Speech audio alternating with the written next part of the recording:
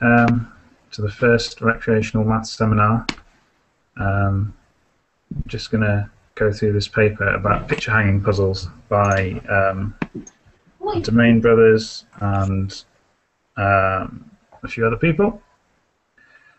Uh, so, can I just have a quick survey first of all? What your mathematical background or level is? Um, I know I recognise a few of you as uh, university professors. Um, have you got anyone at undergrad or lower? Okay, so Theron's going for tenure. Right, Joshua, you're a university undergrad. Um, so, how much group theory? Does, any, does anyone not know any group theory at all?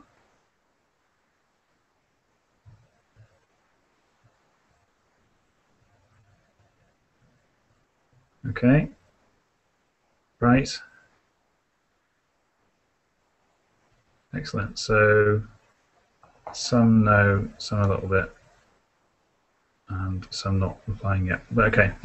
Um, so I'll get started and uh, read read you out the abstract of this paper. Um, so we show how to hang a picture by wrapping rope around n nails, making a polynomial number of twists, such that the picture falls whenever any k out of the n nails get removed, and the picture remains hanging when fewer than k nails get removed. Um, this construction makes some fun mathematical magic performances. More generally, we characterize the possible Boolean functions characterizing when the picture falls in terms of which nails get removed as all monotone Boolean functions. This construction requires an exponential number of twists in the worst case, but exponential complexity is almost always necessary for general functions. Uh, okay. So this is about uh, a puzzle that uh, quite a few people have probably heard of, where you're given, say, two nails to begin with, and you want to uh, hang a picture from it so that if you remove any one of the nails, the picture falls down. Um, oh, Calipan, can you not hear me? Uh, oh, you can hear me. Okay. Um, so, uh, how much do I need to go into this puzzle? Um, there's a bit of intro here, a bit of history. Ah, here's a picture.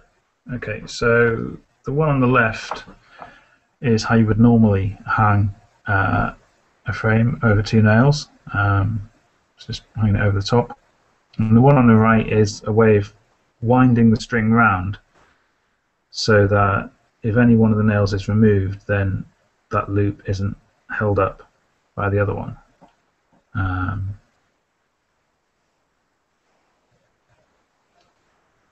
Okay.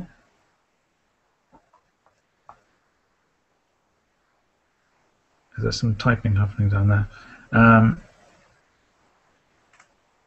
now, when we did this in the test with Colin, um, I was talking back and forth with him. So maybe would someone like to volunteer to be unmuted? I'm always happy to talk. Okay, Colin. Cool. Um, are you all able to unmute yourselves if you wanted to talk? Can someone who's currently muted uh, try talking? I just unmuted myself, and I can remute like. Okay, uh, let's try. Let's try muting and then unmuting everybody.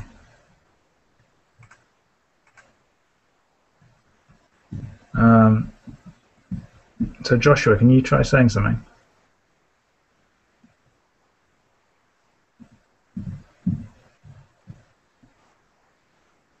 Ah, okay. Uh, how about if I turn your video on? Uh, it's saying to me that you're not muted. Um, I am no longer muted. Oh, excellent. Uh, so it turns out I need to make everyone visible. Right.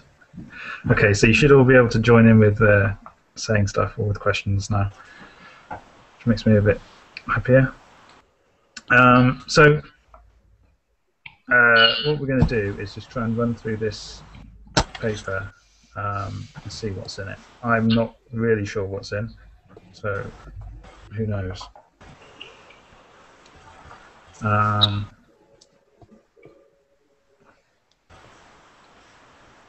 so what we really say. Got a bit of history. Uh, someone's making a huge amount of noise. I think it's Stuart. Okay. Can you mute yourself when you're not talking, please? Uh, I feel like a terrible snitch now. Sorry, Stuart. okay, right. Uh, right. So, um, start of this introduction, we have a bit of history. Uh, anything interesting anyone can see? Uh, there's a connection to Borromean rings and Brunnian links. Uh, so the Borromean rings are the one where you have, I think, is it three rings joined together so that if you take any one away, the other two aren't linked. Um, so that makes sense. Um, so we have this connection provides a solution to a more general form of puzzle, uh, where if you hang a picture on n nails so that moving any one nail fells the picture. Um, okay. Fitzgerald pointed out a connection to group theory, which I expected. And okay. So they're talking about a more general form of the puzzle where they want the removal of certain subsets to make the picture fall. So not just one nail at a time. Um, There's a Okay. big list of puzzles in the second section about the various things that people can do. is there? Oh crumbs. uh, right, I'll, I'll skip. I'll get to that. Uh, so at the end of the instruction, they're saying something about their construction, an exponential number of twists. Section two gives several pub- puzzles accessible to the public. Good. Um, We're totally doing this at Math Jam, right? Oh, of course. Yeah, we'll do some of that. Um, I think none of the other participants are in the UK, are they? Oh, Stuart, you're nodding your head. You should come to Maths Jam next weekend. uh, put a link in there. Just a good plug, as always. Handy. Um, okay, so their work interrelates puzzles, magic, topology, Borromean rings, Brunnian links, group theory, free groups, monotone, Boolean function theory, circuit complexity, AKS sorting networks, combinatorics, and algorithms. All to solve a little puzzle with hanging pictures. I think they might have overreached their mark there. Uh,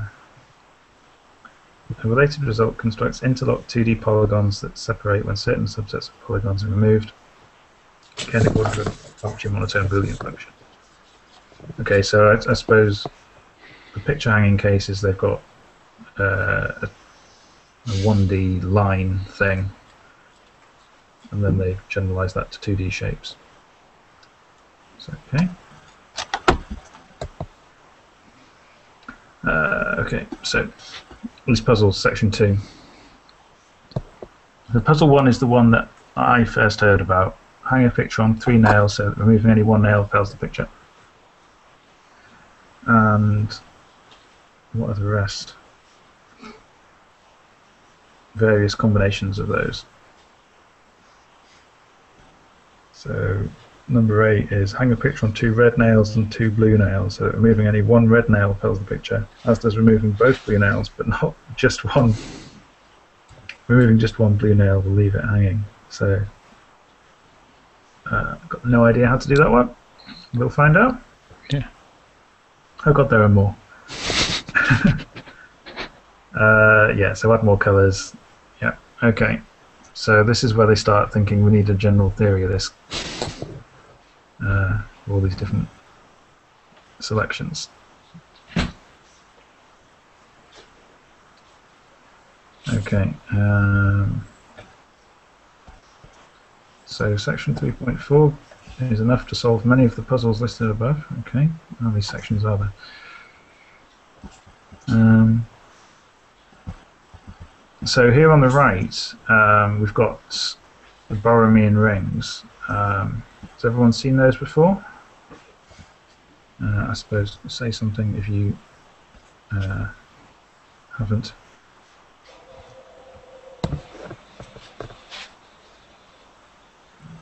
Um, so is it true that the Olympic rings are linked in a certain way? I feel like that's a fact I know, but I'm not sure.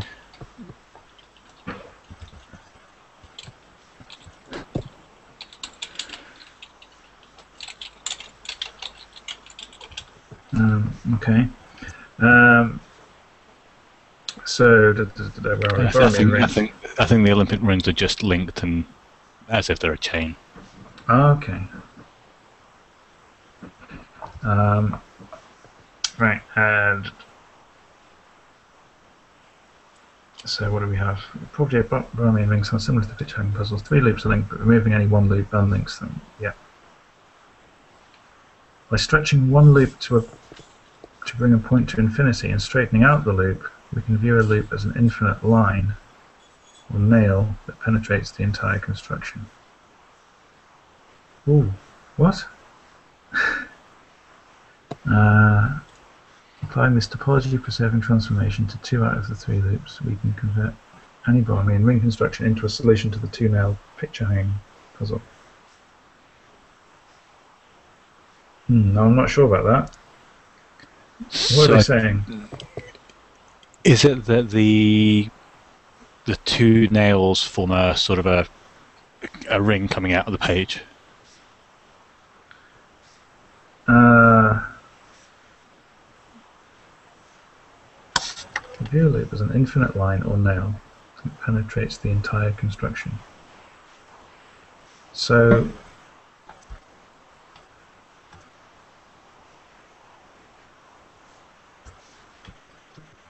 Hmm. so they mean take one particular loop to be the nails, or what?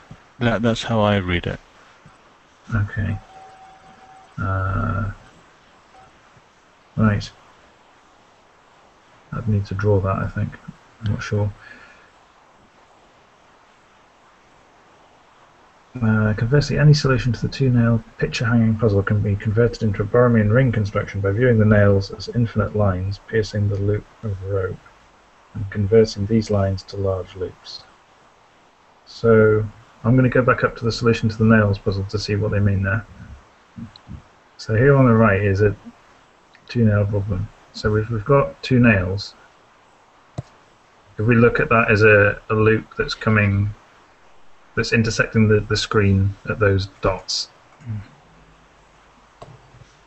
does that, oh, what does that mean? That doesn't look like Borromean rings. Uh, Josh is saying that the two nails are three rings. Left nail is light blue, right nail is dark blue. Actuals. String is purple. Yeah, joining the purple lines together is is clear. Um,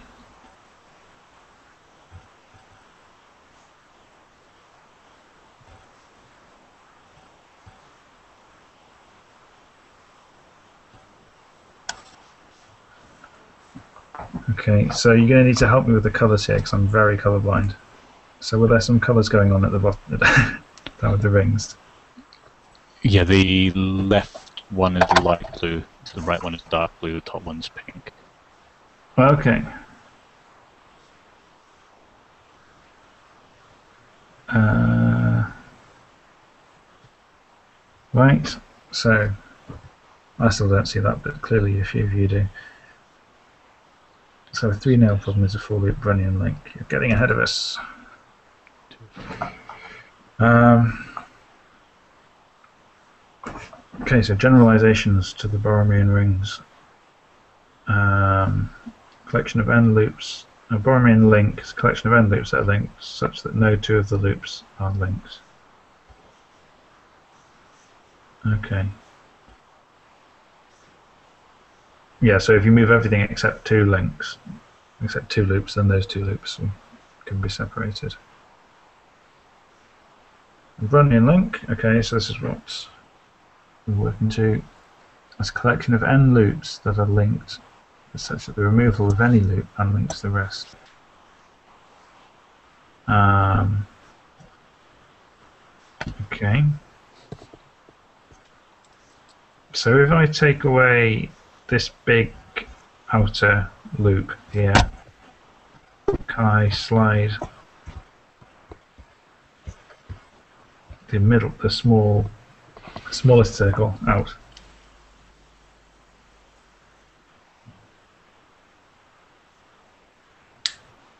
Uh, I'm not sure.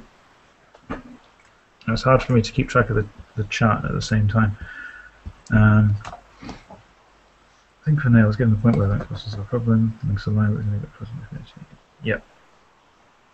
Um, Stuart, I don't think you can annotate on top of things. Uh, that would be very useful. um, oh well. You'll just have to describe it in text, or you can unmute yourself and say what you mean.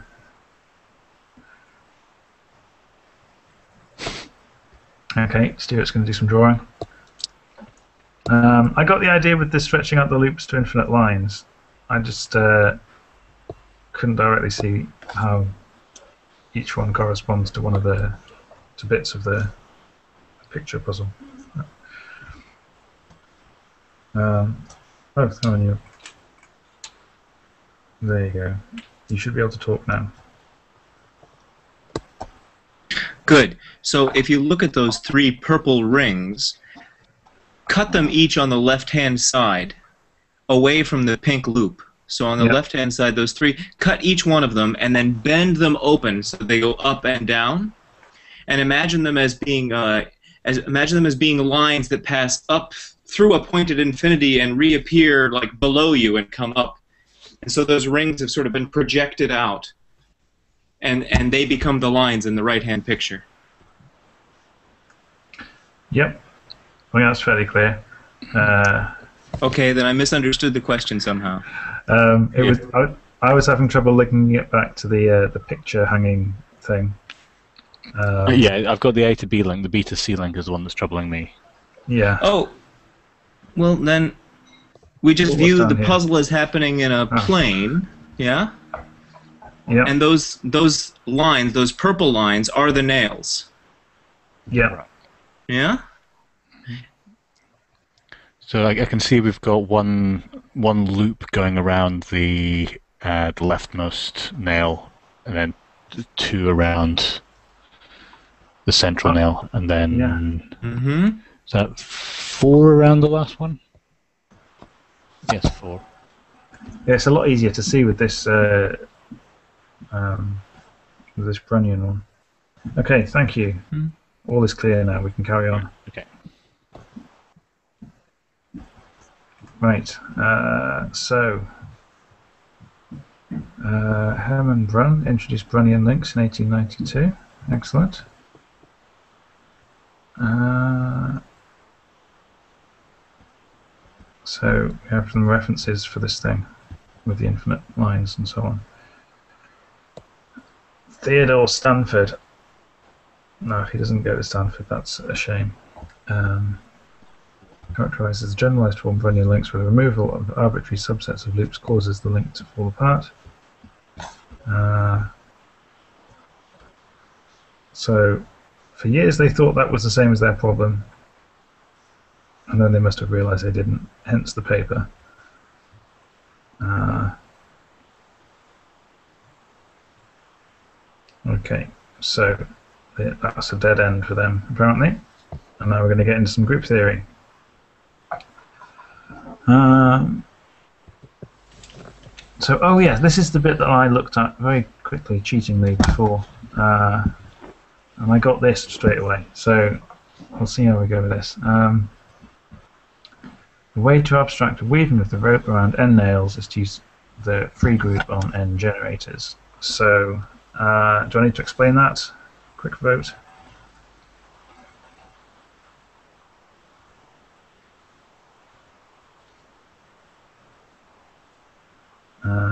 Okay, so that looks like a yes. Yeah. So the free group is um, can think about it as if you have a set of letters, you can write out strings of those letters. Um, and if you say that each letter has an inverse, um, so like here we've got x1, x1 inverse, x2, x2 inverse. Um, you can write out strings on all these letters, and whenever you've got a letter and its own inverse next to each other, you can cancel them out. Right. Um, so the structure of that is the free group on n generators, and it's called the free group because um, it's the one with the fewest um, relations. If, you, if you're thinking about groups in terms of um, being generated by letters, this is the most, um, or the one with the least structure. Um, so what they're going to do is um, have a letter for going round one of the nails in a particular direction, either clockwise or anti-clockwise. Um, so in this diagram, we, we start on the left. Yep, I think Canavan is uh, explaining in the chat. Am I saying your your name right, Canavan, or do I need to be more careful? Ah, okay, okay. So uh, free just means that the, you, you don't have any relations between the generators. So so x1 and x2, if you uh, find the product, it's, it's just x1 times x2. It's, it's not equal to something else. So it's just formal. The multiplication is just formal. Great. Thanks. Okay, good. Um, so on the string, what were we doing? We were starting. You go x1. You go clockwise round uh, first one. Then we're going clockwise around the top of the second one. x1 inverse going the other way around the first nail again, and then anti-clockwise on the second nail. Um, so that is um, that width down here. Um, x1, x2, x1 inverse, x2 inverse. Okay, Right. so what So they? So, do- uh, so whenever we pass over the top of a nail, we count that that as so going to the, the right. That counts as the, the regular thing, and going to the left counts as the neg- uh, the inverse. Yeah. Um, okay.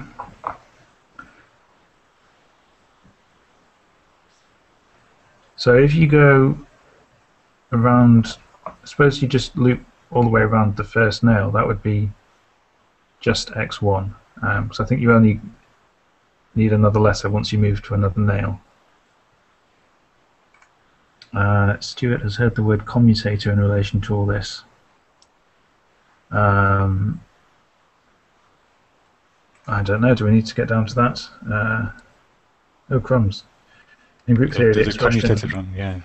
yeah.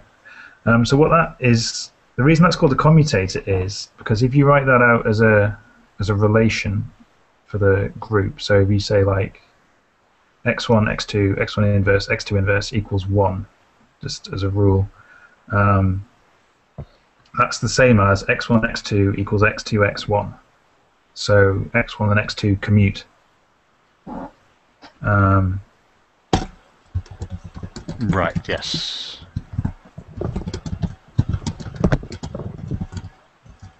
Uh, another uh, way of interpreting commutators could be to say, yeah, so the same thing. It's, it's, it, it, uh, but uh, a way of saying it would be to say that you can think of how far a group is uh, from being abelian as uh, being a, like, if the, so you consider the set of all commutators. If, if that is identity is just identity, then the group is abelian. So, so depending on the size of your commutator, you can say how far your group is from being abelian. yeah. That makes sense. Okay, cool. Um, so what were they doing with these uh, letters? They're saying if you remove the ith nail, that's the same as dropping all occurrences of xi and xi inverse. Um, Yep, that makes sense. Can't go over something that's not there. So the reason figure 5, also, I write this one up here, disentangles when we remove either nail. If you look at the word, if you take away all the x1s, you've just got x2, x2 inverse, which cancels out and leaves you with no loops. Or the other way around. it's, it's nice looking at the um, the bottom here and just everyone's kind of nodding along. It's I wonder if that's going to show up on the YouTube recording. I hope it does. I hope so. it's like a very sedate Bohemian Rhapsody. Okay. Um, Stuart's being won over to group theory. Excellent. Uh, what kind of stuff do you normally do, Stuart?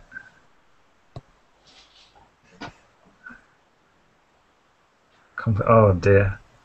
Right, we might have to do one of those in a future seminar, and maybe I can overcome my phobia. Um, Uh, this is recreational. We, we don't we don't, don't need to do, don't need to do hard, hard stuff, right?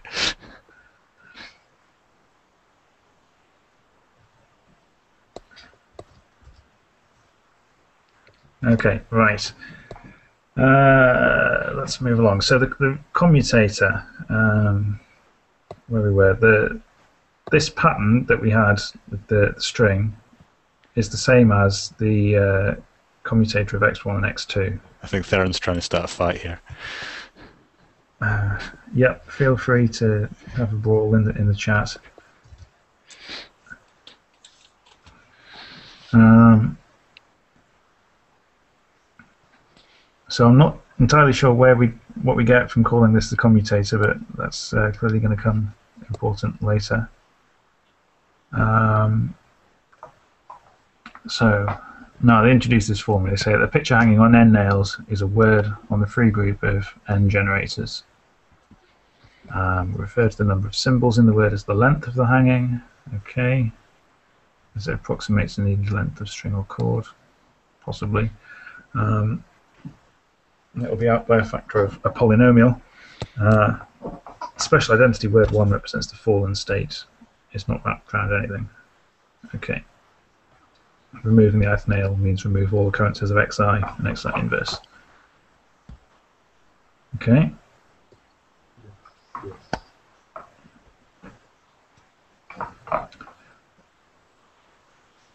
So, what do they do? They solve the one out of n problem. So, you've got n nails, taking any one away causes it to fall. Um, okay, so they make some claims about how long their solution is going to be as well, which uh, might be good. 2n squared. Um, so generalize the, the weaving that they just did with two nails by replacing each I, xi with an inductive solution to the smaller version of the problem. Ooh, crumbs.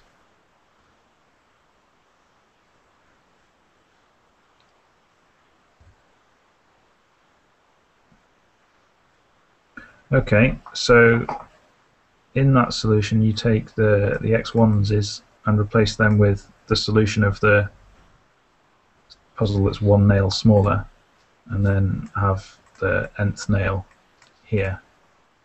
Um, so what that means is wrap it all around the first n minus 1 nails, go around the top of the last one, do the inverse for... Uh,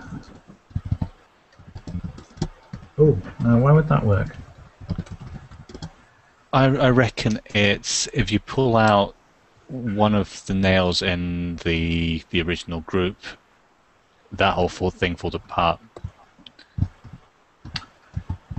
Because That's oh yeah, because it has to become trivial no matter which one you Yeah. remove. So yeah, and then that leaves you x3, x3 minus one, which is trivial as well. Okay.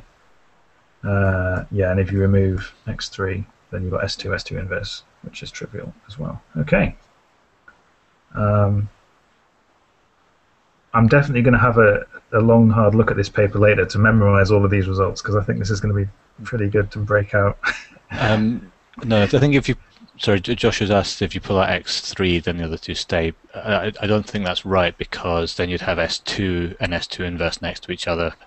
They would cancel each other out. yeah. and it would all fall down. So what S2 inverse is, um, you take S2 here and you read from right to left, swapping every letter to its own inverse. So it's X2, X1, X2 inverse, X1 inverse. Yep.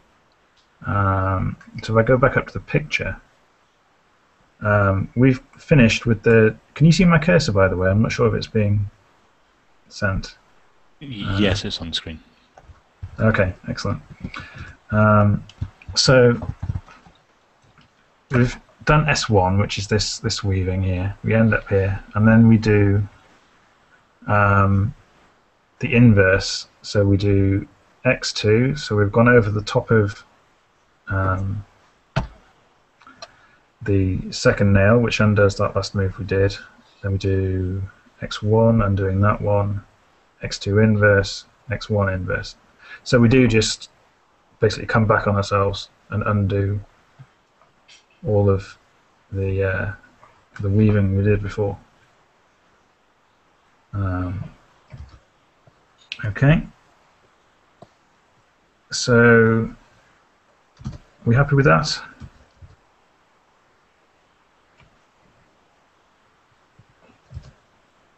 Silence. Yes.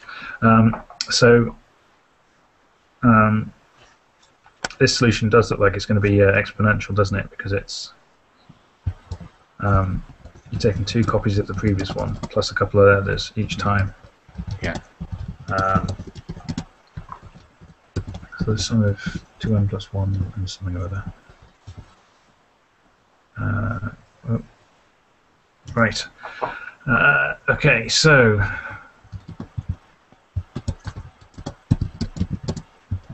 uh, where are we down to? Remove the second nail, so on and so on.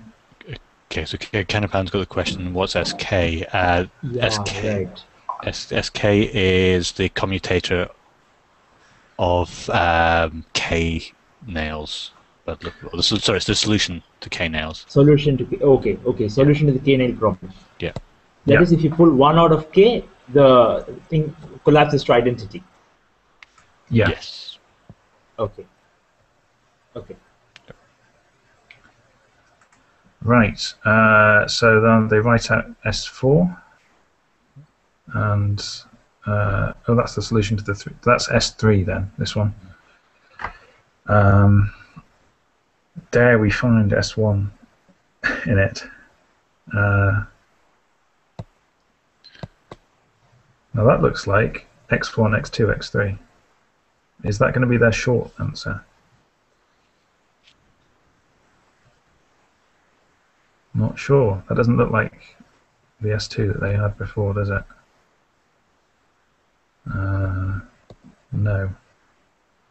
Uh, S4 does have S2 in it, doesn't it? Um, about two thirds of the way along. Yeah, so this should be S3 though, because there are three nails. Oh, sorry. Um, So it should be one, two, three, four, five, six, seven, eight. Uh, lost track. Nine, ten, eleven, twelve, thirteen, fourteen, fifteen, sixteen, fifteen. Oh, I've counted wrong. It's quite long. Uh, so they're sort of what are they saying? Um, saying why S3, S4 works, saying why the induction works, and then they show that their thing, uh, their solution is quite long. It's 2 to the power of n plus something. Um, I wonder if, if you could take that 2 to the n goes, you could have a bijection between these and uh, Towers of Hanoi puzzles. Maybe not. Uh, No, because that's not the shortest possible answer. Mm. So what do they do now? The polynomial construction, which is so it's not going to be two to the n something. It's going to be like, like n squared or n cubed. I think it said 2n squared earlier. Uh, yes, it did. Where was it at the top in the statement? They said uh, two n squared. Very good. Um, so split it. Split this problem in two. Um, okay, so it's like a binary search thing. So you solve it for the left half, solve it for the right half, and then wind those two together. Um,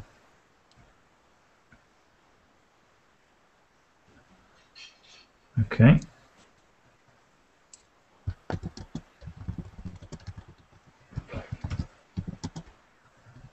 Uh, what have we got in the? Oh, that one said what the uh, page 16. They describe this figure as being S3. Uh, okay, I'll, I'll skip down. How far ahead are you reading? uh, not really on page 16. Ah, you mean 16 in absolute numbers, not their numbers. Oh well, yeah, Okay. Absolute numbers. Uh, There's right. an appendix. yeah. Okay. I'll, I'll, I'll trust you on that one. I'm not going to read all that. Uh, okay, so. Um, so what they're trying to do then is split the puzzle up into a solution for puzzles for nails I to through J. So second, third, and fourth, or fifth to eighth nail, or something like that. Um, so ones that are all next to each other. Um, okay. So for an arbitrary interval i to j, we build an to e i to j out of a recursive copy of e applied to the first half of the interval, a recursive copy of e applied to the second half of the interval. Um, okay, so they split it into two things that are the same size. Um, then the solution is the commutator of those two smaller solutions, um, which will be four times as long, I reckon, as the small solution. Is that right? Because you need one, then the other, then their inverses. I'm just trying to uh, think ahead to how we're going to get 2n squared out of this. Um,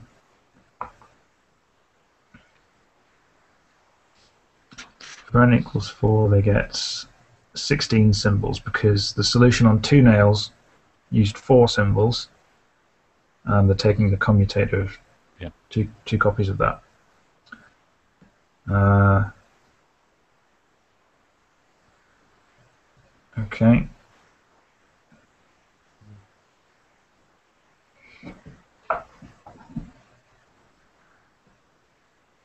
So it ends up looking like n squared.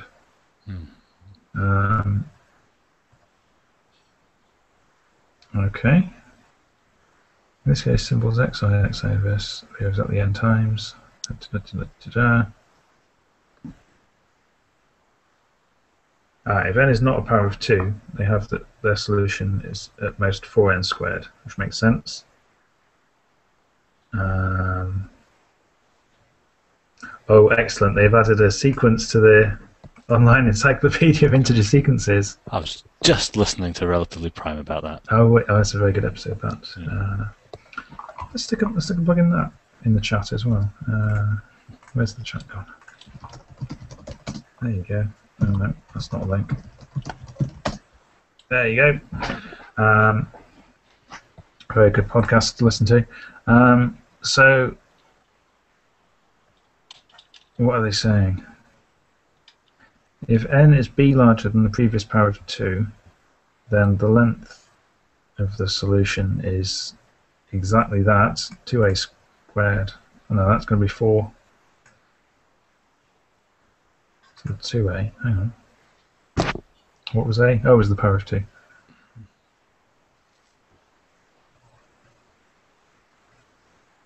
This formula is always at most 2n squared. I feel like some magic's happened. and I haven't Yeah. got paper. Um, Says B can be at most 2 to the a minus 1. Uh, oh no, that bit on the left is 2 to the 2a. Why am I I'm getting everything wrong? Um, Unless it's 2 to the... But 2 to the a is necessarily smaller than n squared, right? Uh, 2 to the a is necess- oh, hang on. I'm not sure. Each recursion of Yes. symbols xi and xa inverse appear at most 2n times because each recursion doubles the number of appearances and there are precisely that many things. Um, so the number of appearances at, at that. Um, so if you've got something that's a power of 2, you split it in two. Um, oh. Oh yeah, you got you've you've only got two copies in the final solution of each half of the puzzle. Yep, so everything only appears twice. Um, it reads like it took four authors to prove that statement. Really? I think that's fairly that's fairly easy going that one. Uh, I'll, I'll check back in the chat in a bit. Um, so they've solved the problem where taking one nail away makes the whole thing fall, and now they want to talk about subsets of nails. So taking one nail away might leave it hanging, but taking another one or any set um, will, is what you need to do. So um, we first illustrate how the theory we have developed so far easily solves the special case in which the subset, subsets are pairwise disjoint. Um, okay, so that means that uh, each nail only belongs to one subset. Um, this corresponds to the pegs being divided into different color classes and the picture falling precisely when an entire color class has been removed. So that's what the tricky ones up at the top look like. Um, so for any partition of all that into disjoint subsets, S1 to SK, there's a picture hanging that works. And they don't say anything about the length, so it's going to be pretty horrible, I reckon. Uh, how are we going for speed at the moment? I'm not sure how whether I should be going faster or slower. Um, super nails. Is that an American reference or is that a word that's appeared in the paper? Yeah, yeah, it's on the, on the next page. oh, Um, excellent. Oh, no, it's actually the top of top of the page you've got. Oh yeah, Um, nails with a super nail. Yeah. the, the nail of steel. Uh, so what, Stuart? You had a question. If you have two colours of pegs, can't you put all the blue ones in the position of nail one, and the red ones in position of nail two, and use the two nail solution? Um, possibly, but I, do they? They allow you to position the nails? Yeah, I think Joshua's got it. I think maybe you have to assume they can be wherever. Okay. Okay, so surely you can loop it so that they're they're all in one set. Um, yep. Oh, could you? Yeah, you just go underneath all the ones you don't want. Yeah. And then go over. So maybe that solution might work.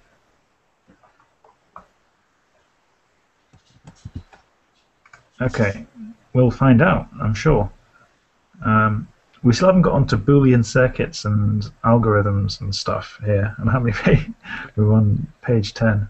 They're going to throw in some mad complexity theory in a few pages. Yeah, no, nobody reads the Uh, second half of papers, right? So what are they going to say? Da, da, da. The idea is to replace each subset with a super nail and then apply the one out of it. Oh, so you had it right. Stuart, you are correct. Um, Um, Uh, Jesus Alberto Cocacupios uh, on is, is asking if he can join. I think. Um, how do I do that? I don't know. Oh, I have to invite. yeah. him. Um, hang on. Let's get back. Oh, sorry, that that was about twenty minutes ago. So I, I don't know if we we might have lost him. Crumbs. Uh, I need to pay attention to the to too many things. What's he called? This is.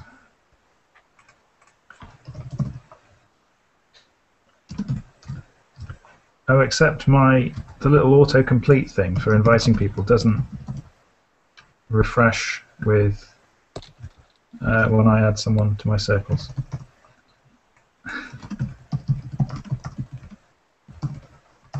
Oh, there we go. Right, I found him anyway. He's got a unique name. Um, right, back to the paper. So, where were we up to? Um, super nails. Excellent. Whenever the solution says to wrap clockwise around a super nail, wrap clockwise around each of the nails in the super nail in particular order. When we wrap counterclockwise, you do this, vice versa. Okay. Um, so represent each subset by the sequence uh, xi1, xi2, so on. So give them all little indexes about where they are in the uh, subset. Right.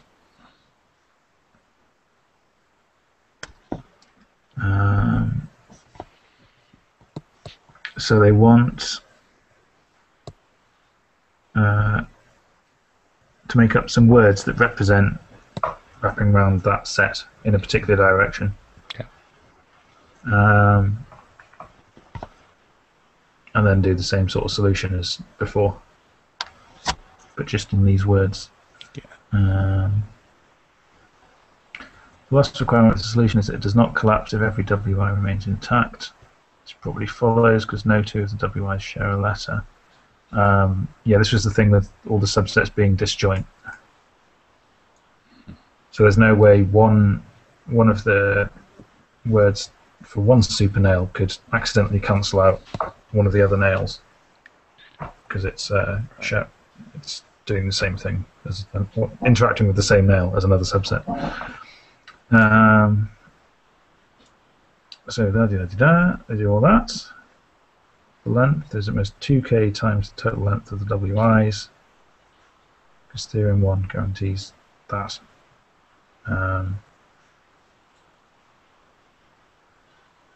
total length of the WIs is exactly n because the subsets form a partition of this. Oh, they do, yeah. Um, therefore, the total length is at most 2kn, which in particular is at most 2n squared, completing the proof of theorem 2. So if k is n, so oh, so if every nail belongs to its own subset, to its own subset, that's the same case as the one out of n puzzle. I thought we'd already proved theorem 2. Uh, okay, theorem No, 2 is a different one. Yeah, The theorem is the second one. yeah. It's clue is in the name. Uh, okay, so it's this 2kn fact which completes the proof of theorem 2, not this one, which is just an aside. Okay. Um, oh, Theron's left us. I didn't notice that. I would have said goodbye. Um, so I didn't get an answer to my pacing question before. How am I? How am I doing? Are we, are we going too slow? Too fast? Is there anything? Well, I, I, I kind of allotted an hour, but I have an hour and a half free, so Okay. So, any questions so far? Anything that, that we've skipped past? Okay, we're going right. Everyone's happy. Excellent. Seems no one has anything better to do than maths tonight. Uh, or, So- or any night. we can't quite say that yet. We'd have to observe every night. Um, so, f- section four gives the general theory. This is where we're going to get into Boolean expressions. Um, I can hear. Okay, Stuart wants to try construction of theorem one on a concrete example of length not a power of two. Yes, I think all of us will be doing that. I'm certainly going to go and. Uh, um, there was a question about whether we got lucky with S2. Uh, in the What sense that that that uh, that there was like someone said uh, in S2 we had a commutator itself as a solution. So they asked for uh, asked for what was the more general pattern for solutions. Okay, so you build up the solution for many nails by, um, if you've got eight, you split that into two puzzles of four, split each of those into two puzzles of two. Um, so whenever you've got two solutions, you take the commutator of those solutions. Um, so that means wrap round. So uh, the first set is uh, solved, so removing any one would uh, make that fall apart. Um, that's what we say. Does the commutator always provide a solution? Yes. Because if you think about it, if um, if you take away, uh, let's let's go back up to the top. Let's find the uh, thing. Uh, that's too far. Um, where's it gone? Okay, yeah. So this here, the solution for nails i to j is um, the commutator of the solution for the from i up to the middle one, and from the middle one up to j. Um, so, um, Is it easier if I ask for a second? yeah.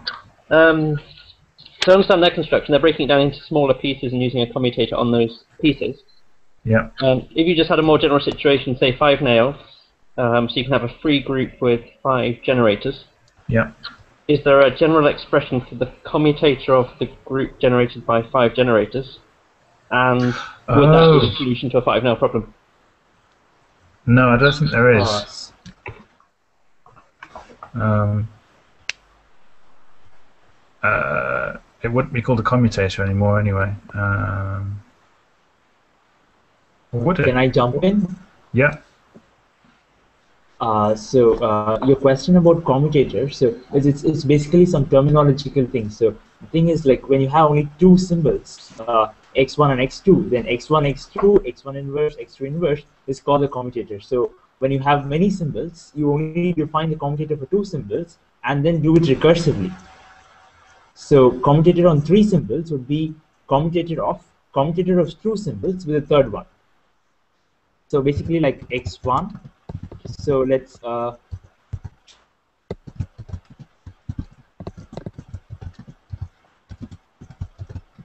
Yeah, like what- Canavan's describing is their first solution, which gave you an exponential, exponentially long uh, winding. Excellent. Good. Um, so we, are we up to speed now? I think we are. Um, so where were we? We're about to get into Boolean functions. Um,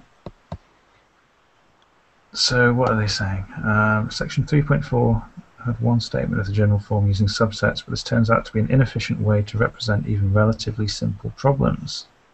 For example, the k out of n puzzle has n choose k subsets of nails, uh, which is exponential for k between epsilon n and 1 minus epsilon n. Um, what are they saying there?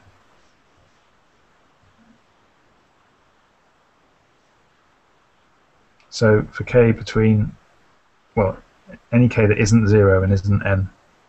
I think that's a weird way of giving that range. Yeah. Uh, there must be a reason for that. We therefore turn to a more general representation called monotone Boolean functions, um, which are now what what do I know about this? Did some. We have a quantum computing project at Newcastle, and we we for our seminar we looked at this for a while. Um, I think you can make up NP complete problems, something to do with Boolean with monotone Boolean functions? I'm not sure. Um, okay, so what are you saying there? K subsets equals K colors method is inefficient. All right, uh, okay, I'll ignore you. um, so the general solution remains exponential in the worst case. We show in section 4.4 how it lets them achieve polynomial solution for k out of n. Um, okay, so they already had one, but now they want to get that as good a solution out of this general theory. Um,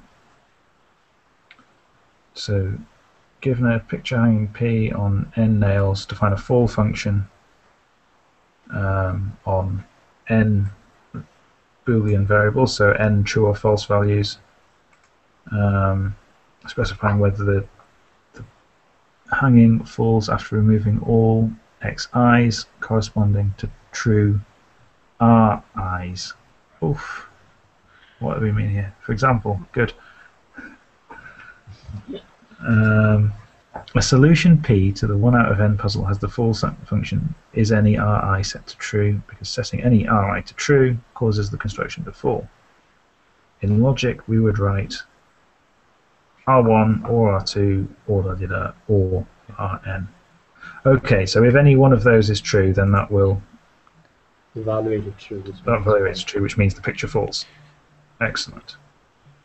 So we set Ri to true if we've taken that nail away. And then we look at the, the fall function and see if that's true. And we can tell whether the picture. Yeah, so, so the, the RIs are whether we've taken away those particular nails, and the fall function tells us whether it falls down or not. Yeah. Okay, so. Yep, so this should let let them describe more complicated patterns. Um, so you can say which you can say what patterns you want to make it for by expressing those patterns as uh, Boolean functions. Um, Okay. Um, have a question. Yes, I think that's right, Stuart. FP is just a Boolean expression for the combinations that should drop the nail. R1, R2 plus R1, R3 plus R2, R3 would be any two out of three. Yep. Yep. Okay. Uh, for example, the function in equation 1, which was that one, uh, up here, is a specification for the 1 out of n problem, which they said. Not all such puzzles can be solved. Every fall function must satisfy a simple property called monotonicity. Um, ooh.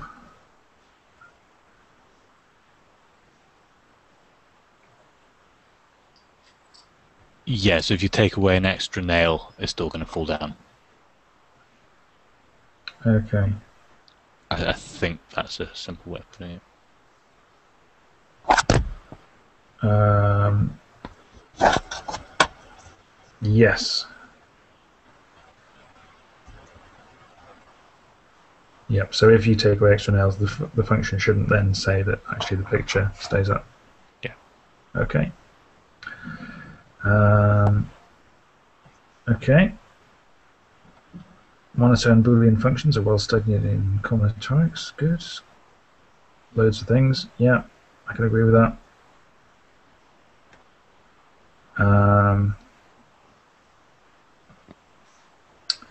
so they're going to use a lot of theory, which I'm not intimately familiar with.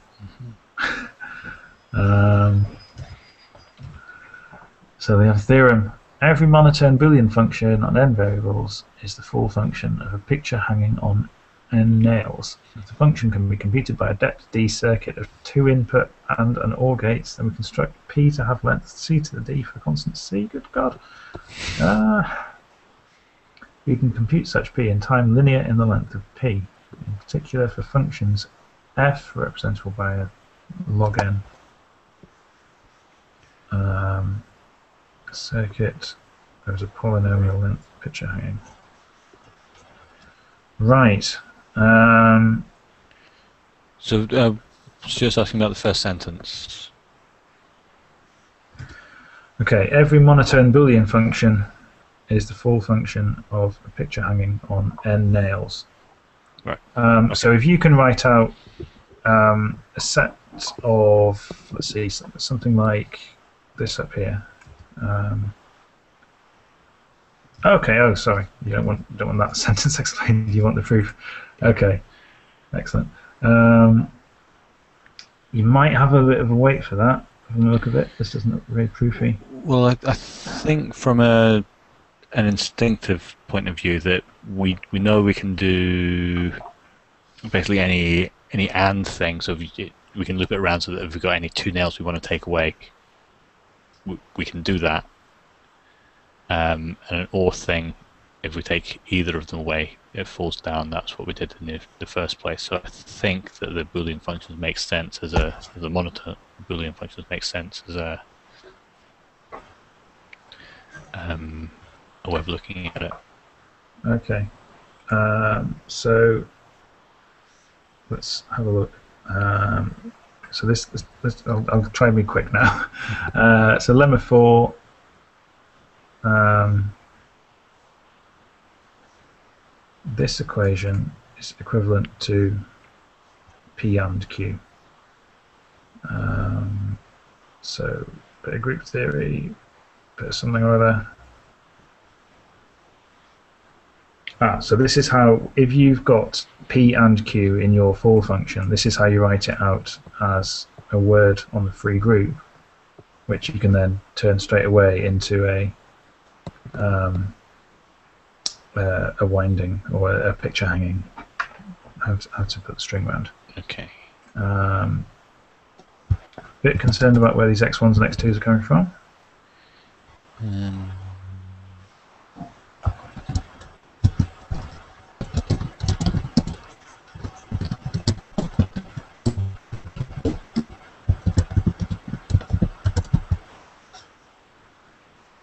Uh, what is that and PQ?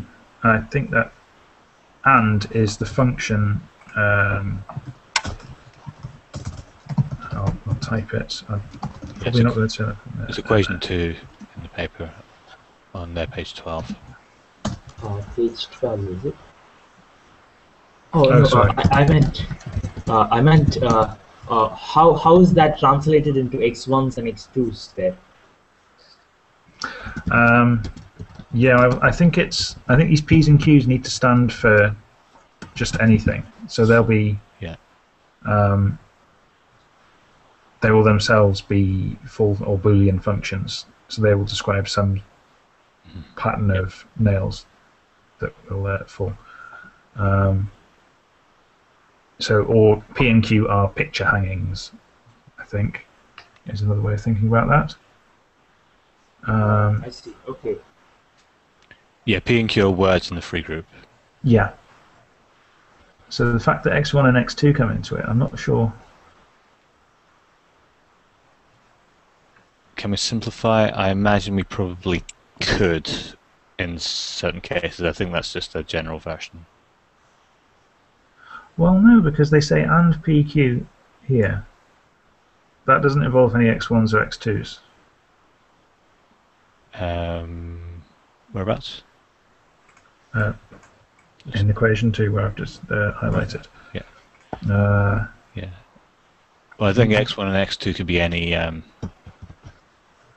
any extra pegs, but we need some kind of space between the P's and the uh, P's and the P inverses. uh, is that true? Is that true? Maybe they're just free to pick any nail they like. Yeah. Uh, maybe. Right, so that's that lemma. Um, I believe them. So if the, if you've got if you want P and Q to be true, then you do that. Um, and they're going to do the same thing for OR. It looks a bit more complicated. Mm -hmm. Um, And uh, I, I presume the that the powers there are just doing the same operation over and over. Yeah, you do. Um, where have we got one of those? Uh, right, this is it. So when you've got Yeah. p squared, that means do the winding p, then do the winding p again. Um, or oh, we've got some big powers here. Yeah, so that means do x2 t times. Yeah. So go round nail 2 t times clockwise. Um, yes, Stuart, you can stick some x1s and x2s in for P and Q there. Um, um, so what we got there? Or PQ falls if and only if either P or Q falls. So that was quite a long proof. Uh, I'm losing the will to work through. Um, so now they're talking about the length. I think we've uh, we've all lost interest in, the, in how long it takes. I think just being able to do it is enough. Yeah. Um, Uh, the all formula expands to 144 P and Q terms and 474 X1 and X2 terms for a total of 618. Yep. So even the authors have, have glossed over just how Yeah. awful that is. Yeah. Uh, this argument gives us 618 to the power of d upper bound on the side of the constructed picture hanging. So we're not talking Graham's number upper bounds, but it's still bigger Yeah. than you'd want. Yeah. And w- what, what was d? Was d the the depth of the circuit? Um, D was the depth of the Boolean function. So Right. like you've got A and B, and then A itself can be C and D or something like that, and that's that's a depth two thing. So it's basically um, Uh, how how deeply nested the functions are. you can draw out these functions as like trees, and it's it's the depth of the tree. If, you, if you can think about it that way. Um, it's not maths anymore, Stuart. This, is- this is this is trees. This is graph theory. This this is all maths. Well, Everything is What? maths. so what prompted that? He's done trying to start a fight now. It's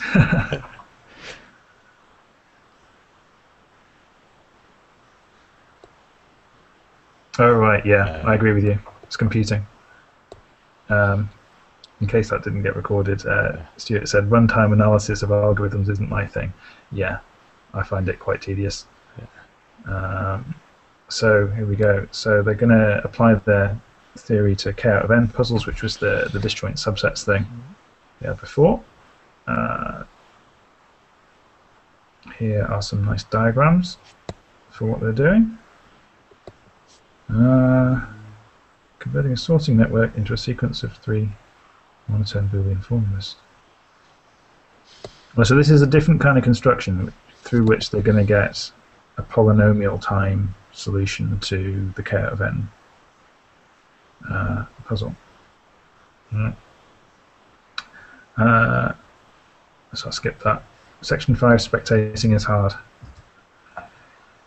Um, Oh.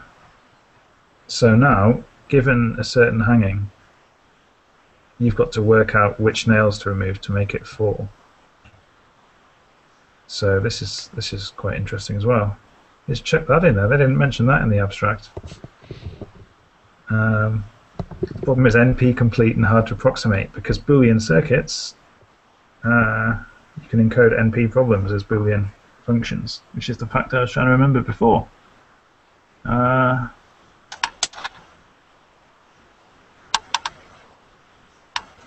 oh, maybe they need to do some more work for that.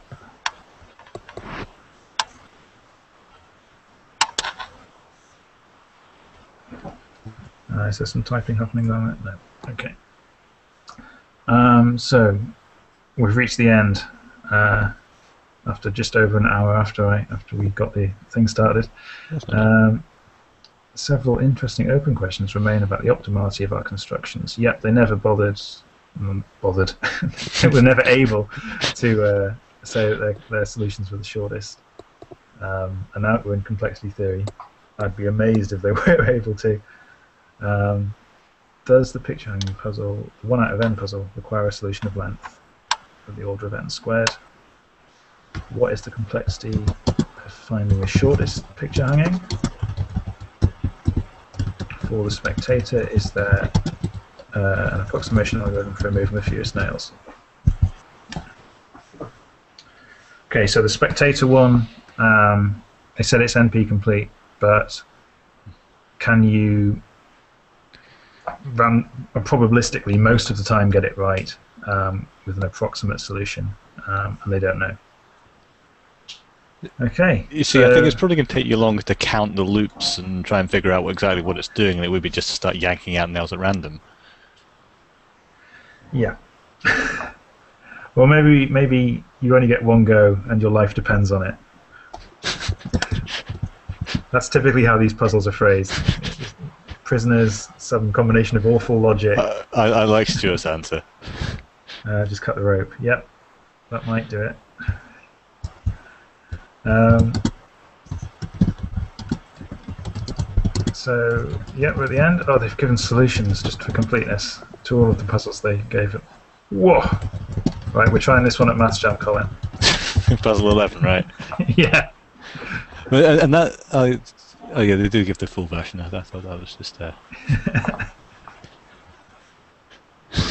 Excellent. Um, so, Canifan wants to demonstrate the one nail answer.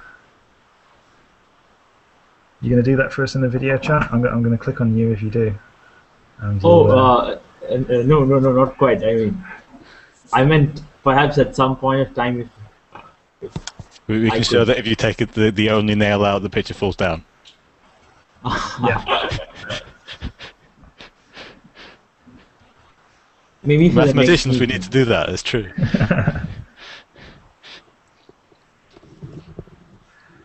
Okay, so Stuart's typing, and at the beginning they made an analogy to links.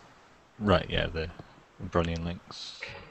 Uh, maybe I'll explain this rather than type it all. Um, yeah, they Yeah. made this analogy to basically the links and the string. Um, there's no major distinction between them. They're all the nails are just infinite loops of string themselves. Yep. So I don't think this is going anywhere. Is there some kind of permutation to this problem where relabel all the nails as nail plus one? The string, the real life string, becomes labeled nail one. What am I trying to say? We, we've, got, we've got n nails on one piece of string. So couldn't the string be labeled as one of the nails and one of the nails be labeled as the string? Possibly. Yeah. Make it sort of cyclic.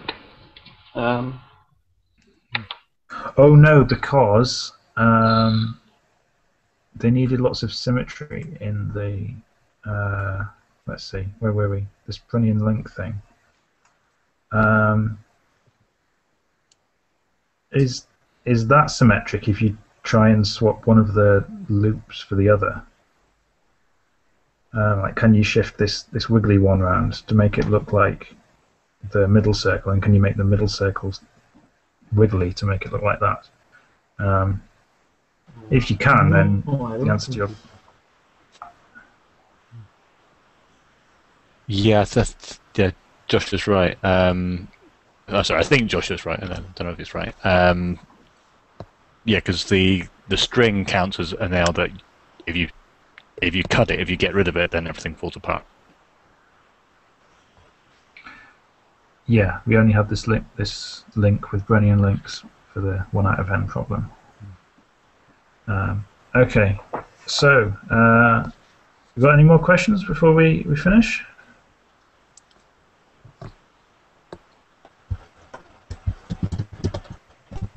Yes, Uh, please.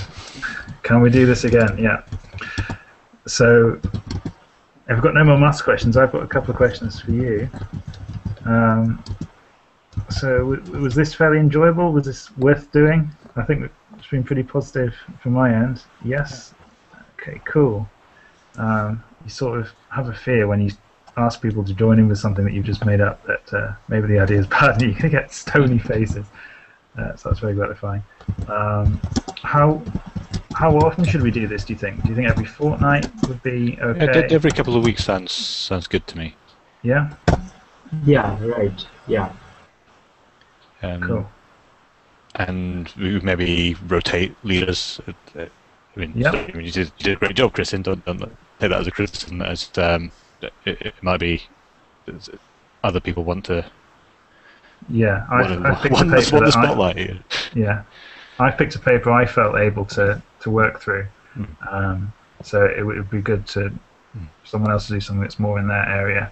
Yeah. Um, Uh, so I have a question. Like, uh, Okay. Uh, how long did it take for uh, Christian to uh, work through this whole paper, or, or like, is he working along with us now? Oh, I've just been going through it with you. Um, I had a quick look um, last weekend just to check that um, nothing crazy was happening, that it was a, a decent paper. But I didn't I didn't read to any of the proofs or anything like that. Okay, okay, okay. So Thomas feels that he should have had a look at the PDF or look at the paper beforehand. Um, I'm not sure about that. I think we've all learnt a little bit. Um, I think looking at it afterwards is definitely something I'm going to do. Um, Yeah. Definitely going to try try out at least the one out of n puzzle with a lot of with a big N um, at some point in my life. Um, so yeah, so I deliberately didn't say don't read the paper or do read the paper. Uh, I gave the link to the paper beforehand because you might, I don't know. Some, sometimes it's good to be well prepared for something, or sometimes you just want to uh, find out a little bit and then decide if you want to go through it. Yeah, and then it, I guess it, it varies depending on your your approach to reading papers. Um, I guess. Yeah. If if you've got um, the uh, if you're of the mindset that you'd rather kind of be be familiar with it before you come in, then go ahead and read it. If you if you'd rather say, "Oh, I want to learn something new," I want it to be a surprise, you can. Uh, just, Yeah. Okay. So uh, yeah, so I, I think the format has worked sort of okay there. Um, We've had uh, all of your videos down here the whole time, but not mine. so uh, I think I'll. How do we do? Oh, uh, there we go. Excellent. I turned off screen share. So uh, thank you all for joining in. Um, I think uh, possibly we'll end the recording now. Um, Good to you all. Yep, and we might do another one of these in a fortnight or so. Okay.